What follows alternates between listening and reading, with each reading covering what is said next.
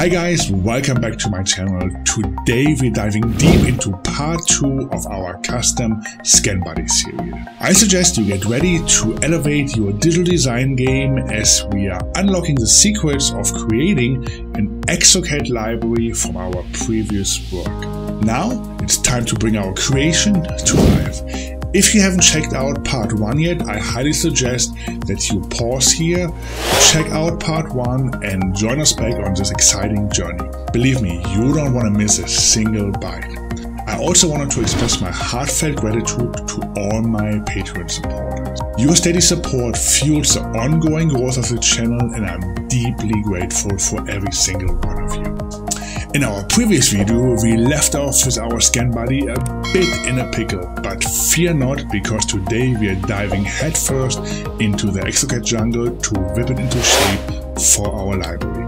First up, it's mesh makeover time. We are fusing those upper and lower parts tighter than a pair of yoga pants, and I recommend cranking up the accuracy and density settings to a solid 250 for maximum oomph. Next on the agenda, hollowing our mesh like we are carving out a Halloween pumpkin. Aim for a wall thickness of 0.1mm, just enough to keep the ghost out. Then, using the plane cut tool, we are slicing off a slice of the lower mesh, leaving it open as a drive-through at midnight. Now comes the fun part, cleanup duty. We are purging those unwanted mesh bits faster than a Marie Kondo enthusiast on a decluttering spray. Just double click, delayed, and voila! You got a mesh cleaner than a grandma's kitchen after spring cleaning. Let's get meshing.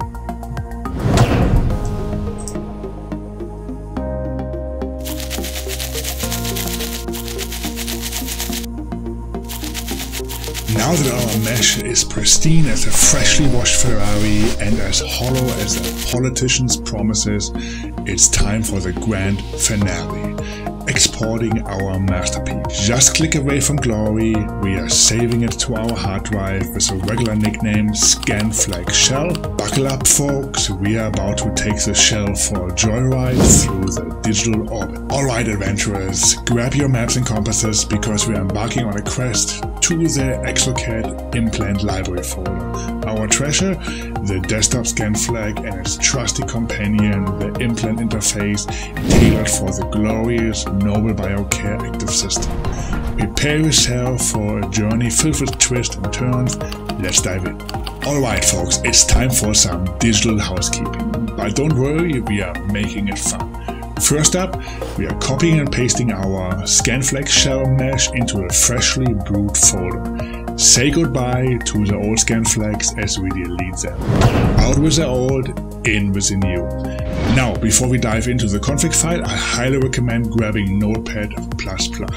Trust me, it's like upgrading from a tricycle to a Ferrari. Inside the config file, it's time to play detective. Let's start by dressing up the display information name. We are giving it a makeover. Now, we are on the hunt for the elusive marker file name, the golden ticket to customization. But beware, there are some sacred code segments that we cannot tamper. The implant library entry sets the stage, while type config marks the beginning of our library system shenanigans. And because we are keeping it simple, we are bidding adieu to the second part of the implant type config and those pesky signature files. We are rewriting through. Now let's take a look at the remaining subtype configuration section, which indicates the NP connection. Remember, we deleted the RP selection to show a cleaner process here. The implant subtype configuration section separates the file from non-engaging and engaging connection types. If you look at the support file names and enter the name on the DES web page, we can identify the Ti-base connections.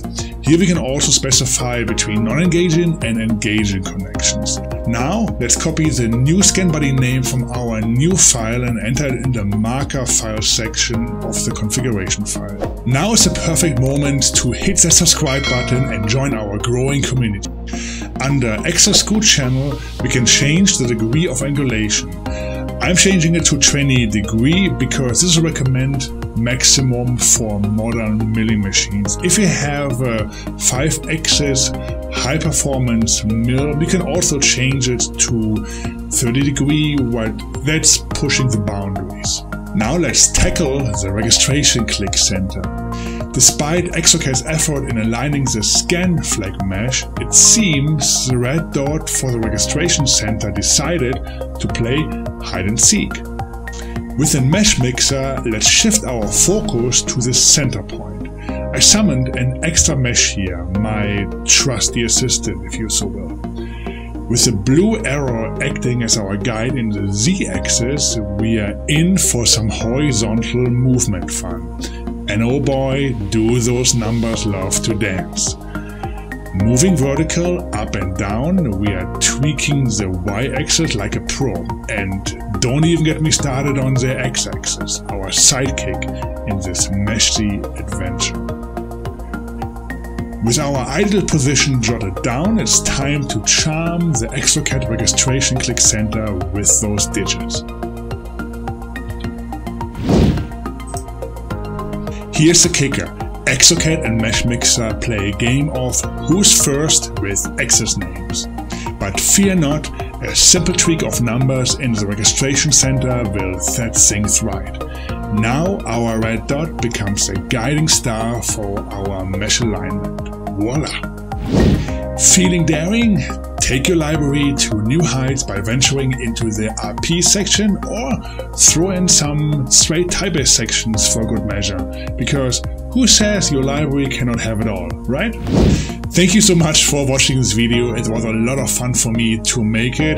A lot of the dialogues I made actually with ChatGPT. I wrote down my comments that I wanted to say in the voiceover and then I told ChatGPT to make it funny and professional and then I read it over the voiceover. If you like this content, please don't forget to subscribe, hit the notification bell, give it a thumbs up. That will help the video, that helps the algorithm at YouTube. And I hope you are going to see you next week. Stay tuned.